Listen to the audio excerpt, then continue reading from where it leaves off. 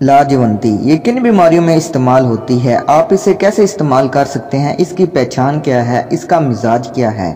اور آپ اسے کتنی مقدار میں استعمال کر سکتی ہیں؟ اس ویڈیو میں میں آپ کو سب کچھ بتاؤں گا۔ اس لیے ویڈیو آپ نے اینڈ تک لازمی دیکھنی ہے۔ لاجونتی۔ اس بوٹی کو چھوئی موئی بھی کہتے ہیں۔ یہ نصور پرانے زخموں پر اس کا پانی ٹپکایا جاتا ہے اور یہ خون کی خرابیوں میں استعمال ہوتی ہے۔ اس کا مشہور نام لاجونتی ہے۔ چھوئی موئی یعنی لاجونتی کی پہچان۔ جب اسے مرد ایک ہاتھ لگاتا ہے تو یہ مرجا جاتی ہے، اور جو ہی اس کے پودے سے ہاتھ دور کیا جاتا ہے تو یہ پھر سے تر و تازہ آ جاتی ہے۔ چنانچہ، اس کو چھوئی موئی اس لحاظ سے کہا جاتا ہے یعنی مرد ہاتھ لگانے سے شرمانے والی بوٹی۔ یہ اس کی پہچان ہے۔ لاجونتی کا پھول۔ اس نظریے کے پیش نظریہ ہے کہ اس بوٹی میں دیکھنے اور سننے کی طاقت موجود ہے۔ اکثر حاملہ عورت کے پیٹ میں لڑکا یا لڑکی کی شناخت کے لیے لاجونتی کو چھونے کی ہدایت کرتے ہیں۔ اگر حاملہ کے ہاتھ لگانے سے بوٹی مر جائے تو اس کے پیٹ سے ہونے والا بچہ لڑکا ہوگا۔ اگر نہ مرجائے تو لڑکی ہوگی۔ یہ تجربہ کامیاب رہا ہے۔ لاجونتی کے بیچ اس کا پودا لگ بگ ایک گز لمبا ہوتا ہے۔ شاخ بریک اور پتے ککر کے پتوں کی طرح ہوتے ہیں، جو کہ مرد کے چھونے پر فوری مرجا جاتے ہیں اور ہاتھ ہٹانے سے پھر سے خود بخود تازہ ہو جاتے ہیں۔ اس کے پھول گلابی رنگ کے نہایت خوش نما ہوتے ہیں۔ عام طور پر خوبصورتی کے لیے امیر لوگ اسے اپنے گھروں میں لگاتے ہیں۔ یہ ہر موسم میں مل جاتی ہے۔ اس کے بیج زرد سیائی مائل باقدر دانہ مونگ پھلی کے ہوتے ہیں۔ پنساریوں کے ہاں جو بیج چھوٹے چھوٹے لاجونتی کے ملتے ہیں، وہ مولی قسم کی لاجونتی ہوتی ہے۔ مزاج۔ لاجونتی کا مزاج دوسرے درجے میں سرد تر ہے۔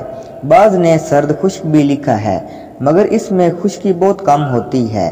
اگر اس کی مقدار خوراک کے بارے میں بات کریں تو پانچ سے سات گرام یا ماشے آپ اسے استعمال کر سکتے ہیں۔ لاجونتی کے فوائد لاجونتی خون کو صاف کرتی ہے، امراض ایام کے لیے بے حد مفید ہے۔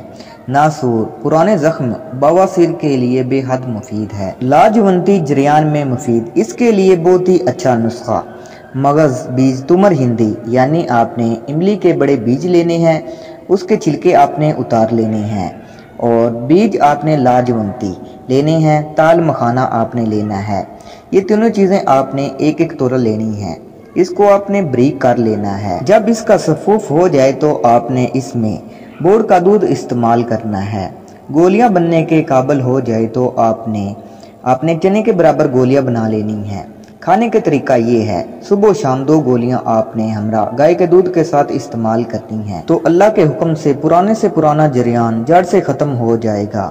اگر مادہ پتلا ہوگا تو خوب گاڑھا ہو جائے گا۔ عام کمزوری کے لیے لاجونتی مفید۔ بیج لاجونتی، چھ ماشا مصری یا چینی چھ ماشا یہ ایک خوراک ہے۔ متواتر دو ہفتہ، صبح و شام۔ ہمراہ گائے کے دودھ کے ساتھ آپ نے یہ استعمال کرنی ہے۔ اللہ کے حکم سے۔ جسمانی کمزوری دور ہو جائے گی۔ زریلے زخم، لاجونتی کے پتے، ڈیڑھ تولہ، مرچ سیاہ، ڈیڑھ ماشا۔ پیس کر چار چار رتی کی گولیاں بنا لیں۔ صبح و شام ایک گولی ہمراہ پانی کے ساتھ دیں۔ زریلے زخموں کے لیے بہت ہی زیادہ مفید ہے۔ تو دوستو، یہ تھے لاجونتی کے کچھ اہم فوائد۔ آپ اسے کس طریقے سے استعمال کر سکتے ہیں، اس کے بارے میں انفارمیشن۔ مزید اچھی ویڈیو دیکھنے کے لیے ہمارے چینل کو ضرور سبسکرائب کریں۔